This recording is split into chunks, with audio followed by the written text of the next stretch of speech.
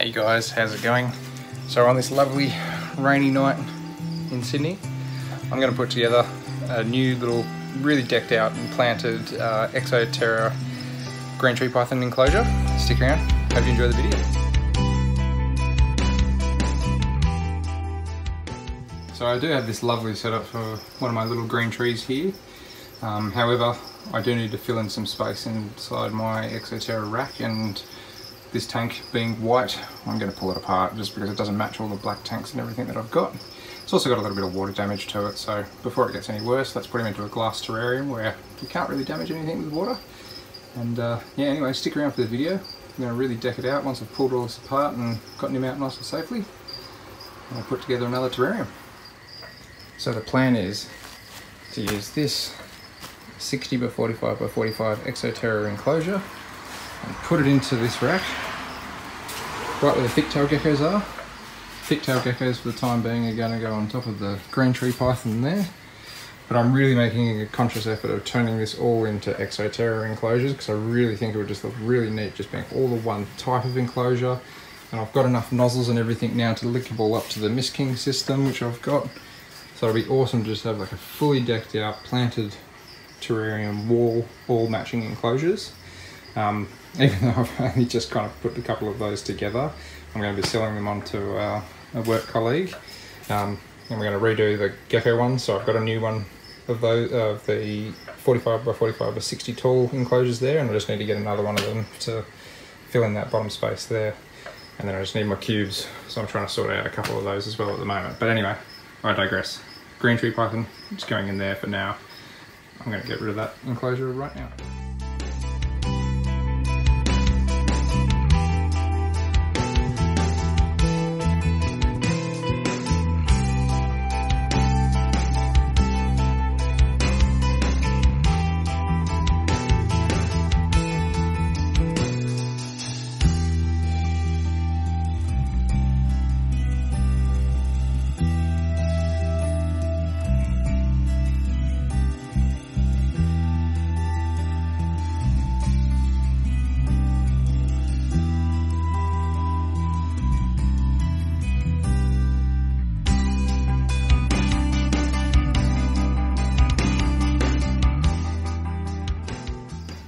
So I've blacked out the sides.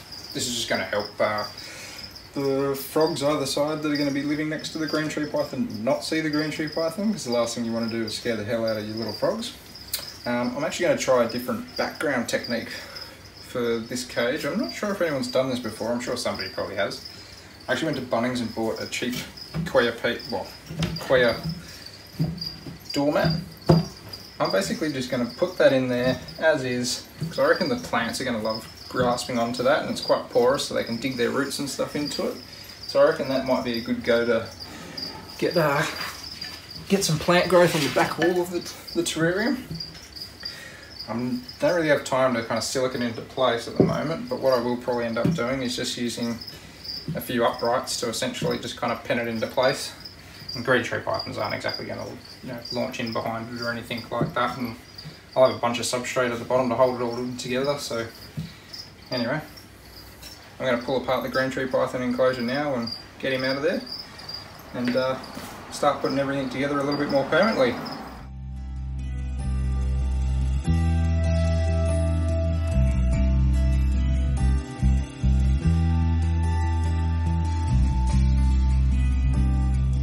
Gone ahead and I've just used some aggregate as a bit of a drainage layer. Put some geotextile landscaping fabric on top of that just to kind of stop the soil actually falling down through it. And I'm actually using an organic potting mix in this terrarium because uh, I really want the plants to, to thrive in this one and I want it to be really lush and really green. So it gives something for the roots to really get into. Before I go any further though, Something I'm going to do is I'm going to put my thermostat probe inside the terrarium because I'm about to actually physically screw the lid shut using some timber. I'll show you what I mean in a sec. But uh, my thermostats of choice, it's a little bit dirty, is just the um, the old classic dimming thermostats by Habistat. I love Habistat thermostats. They're just they're just foolproof.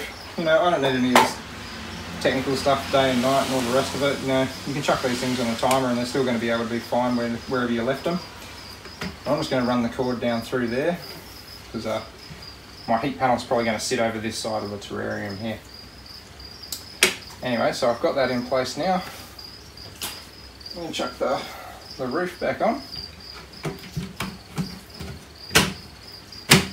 I'm going to get some screws ready. I'm actually going to drill a few of these timbers down into place. You would have seen this in quite a few of my videos probably. Um, this time for this this side, what I'm doing is I'm actually using it to uh, pin the backing in place. Just want to make sure I get a bit of a firm grip on it. But yeah, I'm going to use these to just hold this in a position.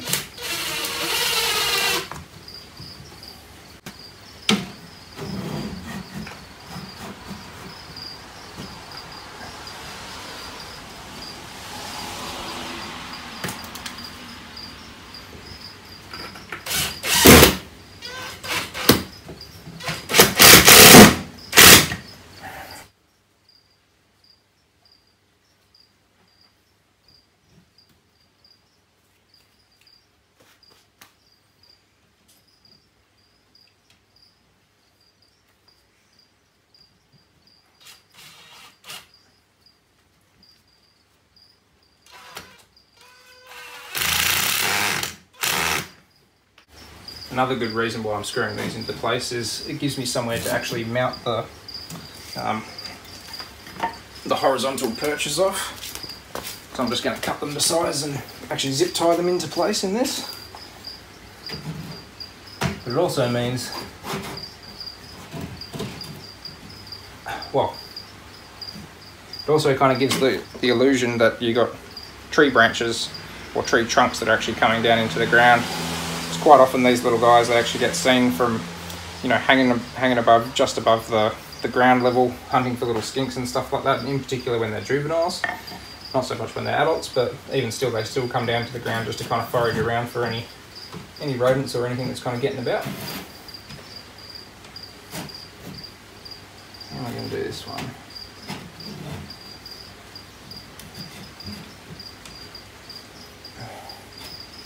I don't want to make it look too too much the same on both sides or anything like that so I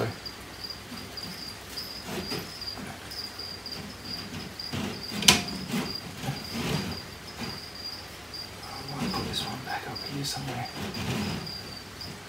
maybe like that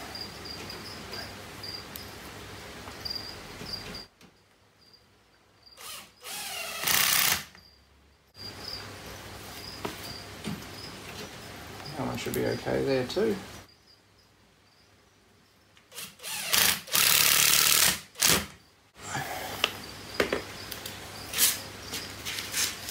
Beautiful.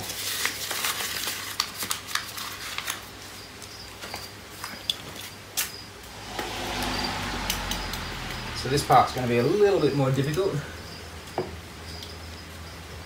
But essentially I'm just going to zip tie a couple of these little perches into place.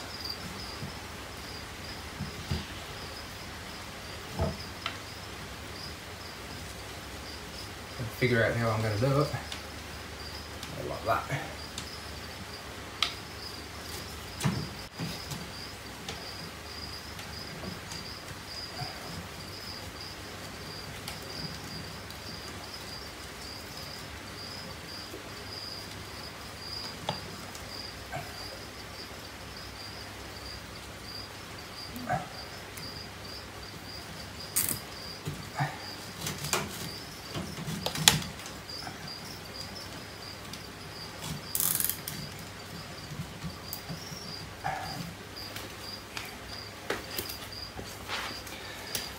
The other thing I'm going to do while I'm in here, while I've got that first perch on, is grab my thermostat probe. I'm actually just going to zip tie it into place as well over here, right to the top of the perch where that heat, heat panel is going to be sitting above. I'm going to come back after I've got these perches all in place and uh, cut the zip ties.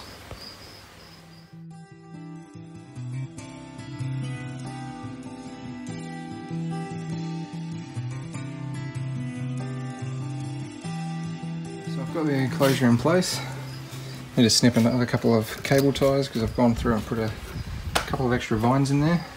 I'm pretty much ready for planting. I've hooked up the Mist King to it. So it's got the tube running right across there. Got a beautiful T5 in there, so it should be able to give plants heaps of growth. But uh, yeah, I'll crack into it. I've got a whole bunch of plants to show you. We'll start putting some of them in and uh, get this underway. So I'm not 100% sure if I'm going to use all of these yet. I've got a big pothos vine that's come out of his old enclosure and uh, picked up a bunch of these little guys today as well just to kind of hopefully do a lot more of the front filling in and stuff. I've also got a little ivy I believe there. Ivy? I'm pretty sure, yeah, it's a little ivy. Yeah, a couple of little bird's nest ferns. I think that's a little peace lily. And uh, it's a little ground cover plant, that one.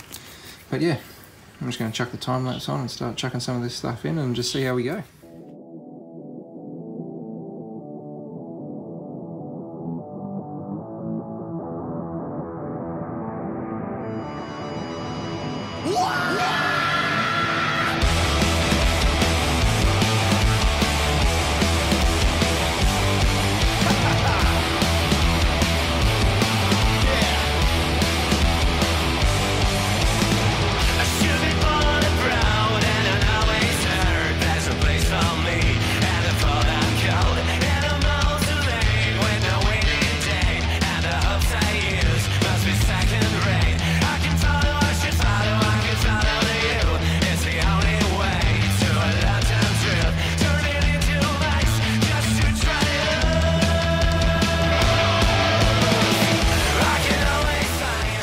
A little bit late here.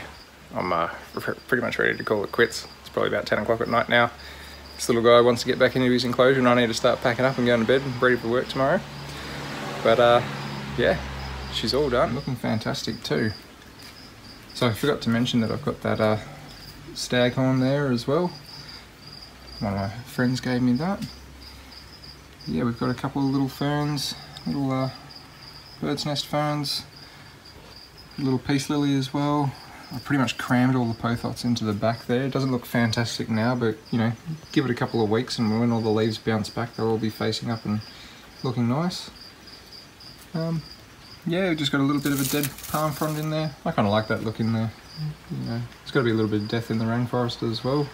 Or the, the decaying matter as well. I need to get a different water bowl because at the moment I'm just using a uh, a cheap cereal bowl and have been for quite a while for this guy, but um, nonetheless, I'm going to get him in and let him explore his new home. So this is the gorgeous little wasabi. See if I can... He's just going to do what he wants to do. I don't actually know if it's a he.